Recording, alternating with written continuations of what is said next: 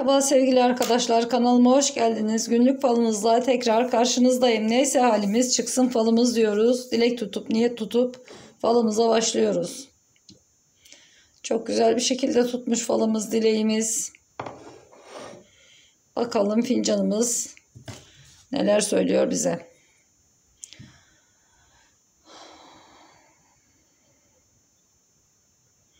Kafanızın içi oldukça bulanıklaşmış. Kafanızın içi oldukça karışık.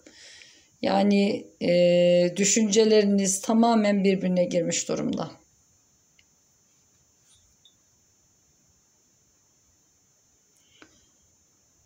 Neden böyle bir durumda yaşıyorsunuz anlayabilmiş değilim.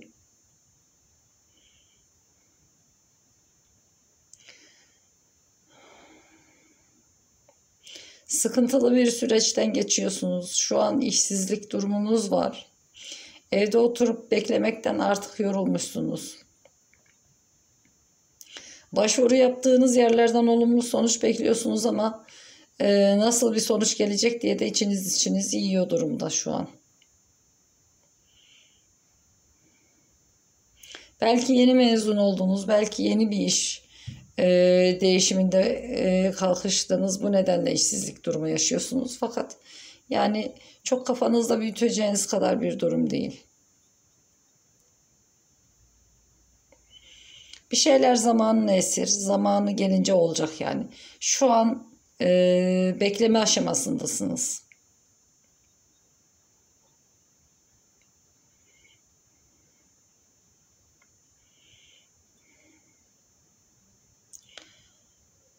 Belli bir zamanı var. Bir işiniz olacak. Bir ayrı kendinize ait düzeniniz olacak.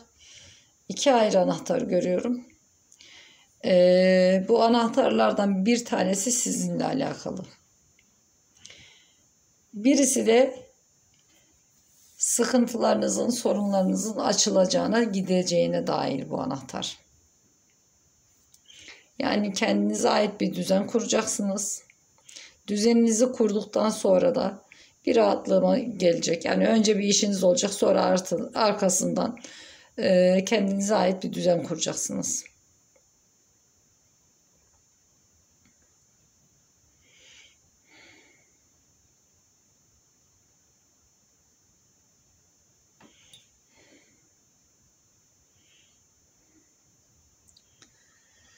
İkili görüşmeler var. Bunlar bir iş başvurusu durumu.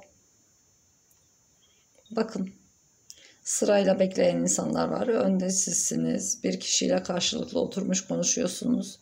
Fakat e, içiniz içinizi kemiriyor yani böyle nasıl bir sonuç çıkacak? San, e, sizi ne bekliyor sonucunda? Yani bu iş olacak mı olmayacak mı diye bekliyorsunuz. Fakat sizin için hayırlı sonuçlanacak bir iş olacak ama bu hangisi olacak bunu zaman gösterecek size.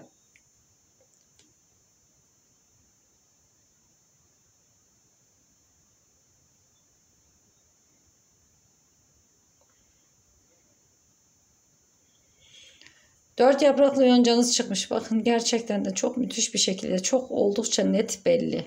Görüyor musunuz? Tam parmağımın ucunda. Gerçekten de çok güzel bir şekilde çıkmış. Ee, ve üzerinde de bakın dört yapraklı yoncanın üzerinde de tam olarak yorumlayamıyorum. Çünkü kameram biraz zor odaklıyor. Neden böyle oldu? Şu an anlayabilmiş değilim. Dört yapraklı yoncanın üzerinde bir kuş bir haber var. Güzel bir haber. Hatta bu kuşun kanalında bir de anahtar var. Çok özür dilerim. Ee, güzel bir haber alacaksınız. Zamana bağlı olacak. Birazcık bekleme durumunuz olacak. Bekleyip sabredip bu işin hakkınız olan işin e, onayını, cevabını alacaksınız. Birazcık daha sabır. Uzunca bir yoldan bir misafiriniz geliyor. Bu kişinin ayağı uğurlu gelecek. Bu kişinin gelmesinden sonra siz işe başlıyorsunuz. Gelecek kişi anneniz olabilir ya da işte yakınınız olabilir, bir akrabanız olabilir. Ama hanenize bir misafir gelecek uzaktan. Bu kişinin ayağı gerçekten de uğurlu olacak. Sizin için dua eden bir insan var.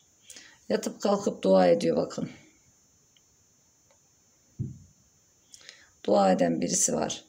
Ellerini açmış, duasını okuyor. Duası kabul olmuş durumda. Beklediğiniz güzel, olumlu sonuç en kısa sürede elinize geçecek. Yani maddi anlamda bir sıkıntı görünmüyor. Sadece sizin sıkıntınız, sadece işle alakalı. Olumlu bir sonuç gelecek mi, gelmeyecek mi beklediğiniz durumlar var.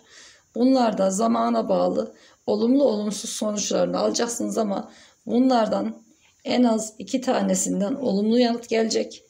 Sizin için hayırlı olanı hangisi iyiyse, hangisi hayırlıysa onu seçeceksiniz, tercih edeceksiniz. Ve bu şekilde işinizin başına geçmiş olacaksınız.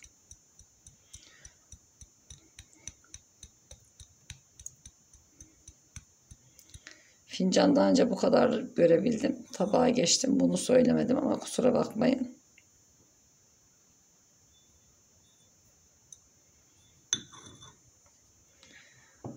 Evet. Kocaman bir balığınız var. Büyükçe bir parasal nasibiniz olacak.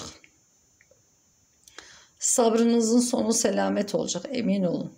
Bakın aydınlığa çıktınız.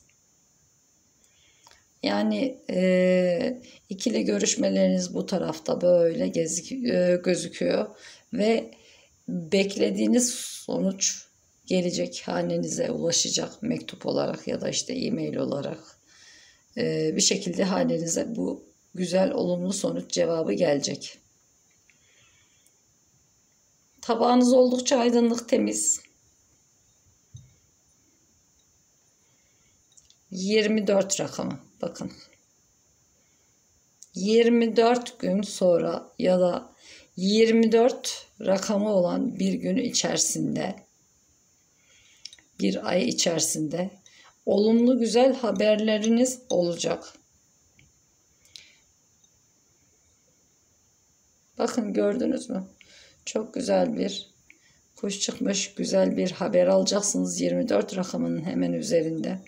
Gerçekten de beklediğiniz sonuç olumlu olacak. Yani hangisi olacak bilemiyorum bu işlerden ama pek çok yere dilekçe vereceksiniz, başvuruda bulunacaksınız. CV bırakacaksınız ve beklediklerinize değecek. Ve en sonunda bir işiniz olacak, masa başı bir işiniz olacak. Ve anahtarınız aydınlıkta temizde.